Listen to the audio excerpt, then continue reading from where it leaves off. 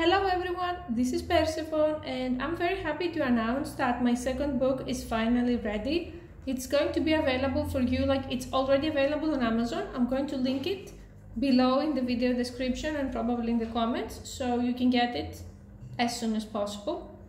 The reason why I decided to write this book is because every time something bad happens, I'm always looking for my part because if you don't have self accountability, you can progress as a person. And I realized that based on my past videos, because I was a person that I grew up with pretty much not having any contact with YouTube because my parents never allowed me to use it. And I was seriously underestimating the amounts of toxic people in this platform. So I made videos from a very abundant and generous mindset that I still have.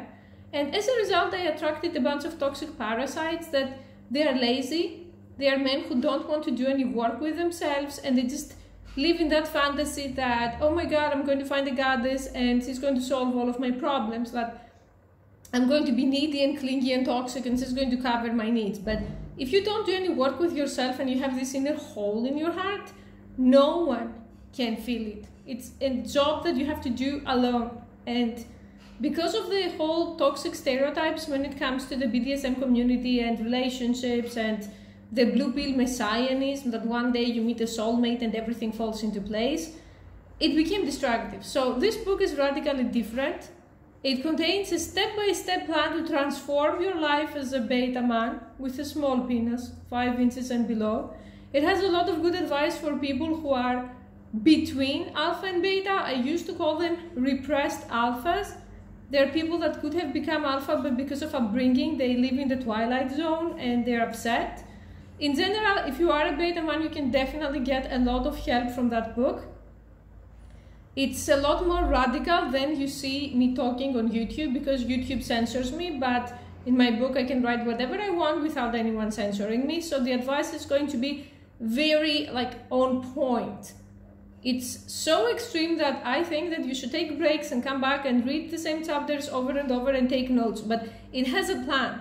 We are not talking about gurus here and unlock your inner voice or advice that doesn't make sense. For example, seek therapy or go no contact when you don't have the money and you are codependent. So if you are into actually seriously changing your life, I recommend it.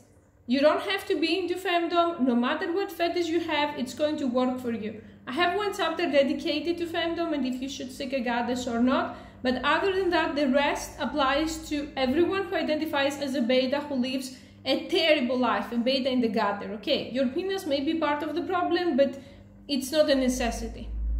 I say this because I want to attract people in my life who are self-determined, who take responsibility and who do the work to change. And just because you are beta doesn't mean you're this passive creature who is just wasting everyone's time and trying to get out of his circumstances without paying the price.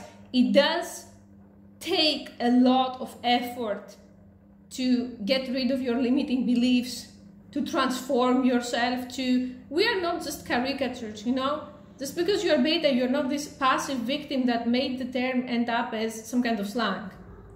So if you have found my channel and if you have actually been feeling that what I say resonates with you, this is the time to make the move.